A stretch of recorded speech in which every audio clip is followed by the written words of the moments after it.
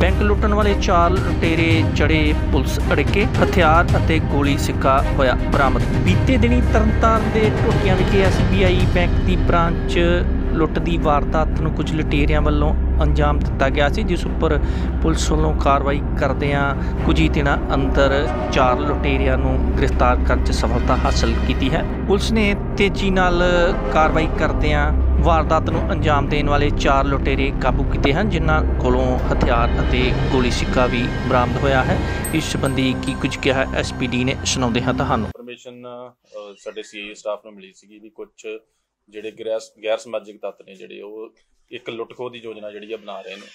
ਉਸ ਦੇ ਉੱਤੇ ਐਕਟ ਕਰਦਿਆਂ ਸਾਡੀ ਡੀਐਸਪੀ ਡੀ ਸਾਹਿਬ ਦੀ ਅਗਵਾਈ ਦੇ ਵਿੱਚ ਜਿਹੜੀ ਇੰਸਪੈਕਟਰ ਸੀਆਈ ਦੀ ਟੀਮ ਜਿਹੜੀ ਉਹ ਗਈ ਸੀਗੀ।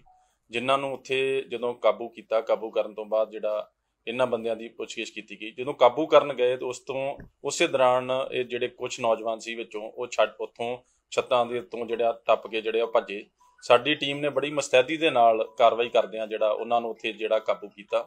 ਕਾਬੂ ਕਰਨ ਤੋਂ ਬਾਅਦ ਜਦੋਂ ਇਹਨਾਂ ਦੀ ਤਲਾਸ਼ੀ ਕੀਤੀ ਗਈ ਇਹਨਾਂ ਕੋਲੋਂ ਦੋ ਵੈਪਨ ਜਿਹੜੇ ਆ ਉਹ ਬਰਾਮਦ ਹੋਏ। ਤੇ ਕੁਝ ਜਿੰਦਾ ਕਾਰਤੂਸ ਆ ਜਿਹੜੇ ਉਹ ਵੀ ਇੱਥੋਂ ਜਿਹੜੇ ਆ ਬਰਾਮਦ ਹੋਏ ਨੇ।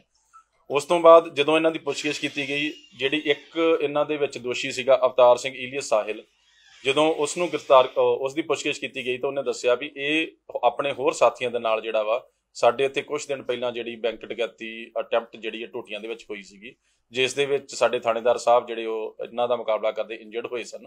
ਉਸ ਦੇ ਵਿੱਚ ਜਿਹੜਾ ਇਸ ਸਾਹਿਲ ਤੇ ਆਪਣੇ ਤਿੰਨ ਹੋਰ ਦਸ- ਜਿਹੜੇ ਸਾਥੀ ਨੇ ਮਿੰਟੂ ਅ, ਅਜੇ ਤੇ ਰਾਜੂ ਇਹਨਾਂ ਤਿੰਨਾਂ ਦੇ ਨਾਲ ਜਿਹੜਾ ਵਾ ਇਸ ਵਾਰਦਾਤ ਨੂੰ ਇਹਨੇ ਅੰਜਾਮ ਦਿੱਤਾ ਸੀਗਾ। ਉਸ ਵਾਰਦਾਤ ਦੇ ਜਿਹੜਾ ਅੰਜਾਮ ਦੇਣ ਦੇ ਵਿੱਚ ਜਿਹੜਾ ਮੋਟਰਸਾਈਕਲ ਵਰਤਿਆ ਗਿਆ ਪਲੱਸ ਜਿਹੜਾ ਵੈਪਨ ਜਿਹੜਾ ਇਹਦੇ ਵੱਲੋਂ ਵਰਤਿਆ ਗਿਆ ਸੀਗਾ ਉਸ ਵੈਪਨ ਨੂੰ ਵੀ ਸਾਡੇ ਵੱਲੋਂ ਬਰਾਮਦ ਕਰ ਲਿਆ ਗਿਆ ਹੈ।